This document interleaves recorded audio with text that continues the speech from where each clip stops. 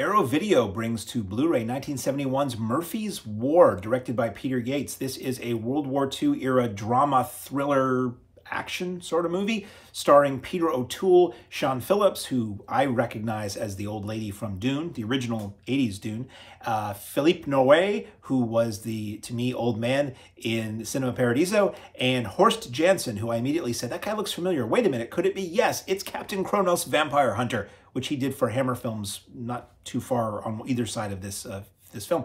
So uh, this is a film I remember seeing on TV years ago. I don't I think I probably saw it in like an AMC or TCM or something like that. So I had a vague memory of the movie, but the memory was pretty inaccurate for the most part on this film. So it was really a fresh view for me. This film is really good. Nobody talks about this. Uh, so Peter O'Toole, film opens with this just like massacre of British soldiers off the coast of Venezuela by a German U-boat. They're the, obviously the, the British ship has been sunk. They're in the water. There's debris. There's there's life preservers. There there's there's guys who are alive. There's guys who are dead. The, the surface of the water is oily and on fire, and the German soldiers are just machine gunning everybody. It's really brutal and really intense at the beginning of the film. Um, Peter O'Toole, I'm not going to tell you the whole story.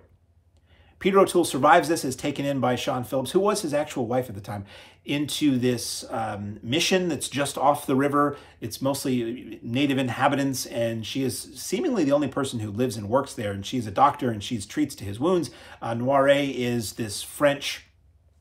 Uh, I don't know if he's like the mechanic or the handyman or whatever, but he's he's got a tugboat, he's got a boat there, and he helps, and he's a super nice, likable guy.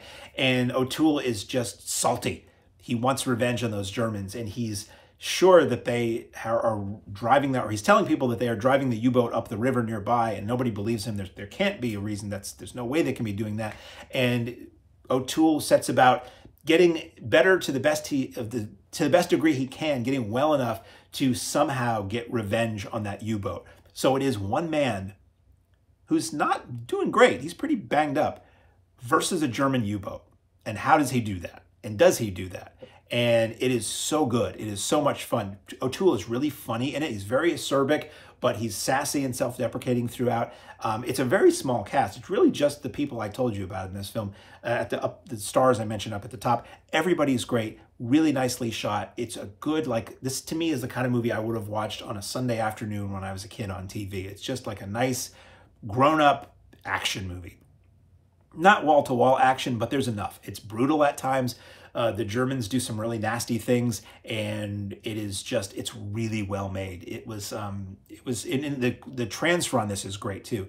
As I like to say, you know, it's, it's Arrow, so it's it's it's going to look great. It's going to be the definitive release up to this point, and uh, they don't disappoint in the in the image quality. So um, it is uh, in English. It's an English language film. It's got English SDH subtitles. Uh, music by John Barry and Ken Thorne, who did a lot. John Barry is John Barry did amazing stuff. I mean, he's mostly known for Bond soundtracks knee jerk is that he does Bond soundtracks, but he did a lot more than that. And Ken Thorne worked on all kinds of things, uh, including some Beatle related stuff. So that's of interest to me. Screenplay by Stirling Silliphant, based on a book, and uh, 106 minutes, originally a Paramount release. For some reason, I'm so used to Arrow putting out a lot of Euro stuff and obscure stuff and cult movies and indie movies that it's always a bit of a surprise or a kick to see a major studio logo at the beginning.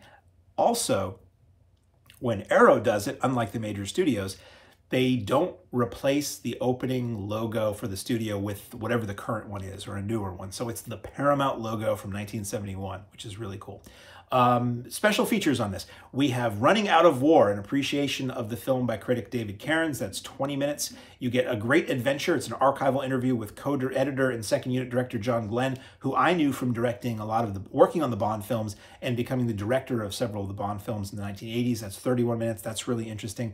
Uh, Doggy, Chick, and Me. It's an archival interview with the focus puller, Robin Vidgeon, and that's very interesting. Sometimes you're like, focus puller, but yeah, it's interesting. He was there. Uh, that's 16 minutes. One Man Army archival interview with film critic Sheldon Hall. That's 17 minutes. You get a three minute trailer and a 17 image image gallery.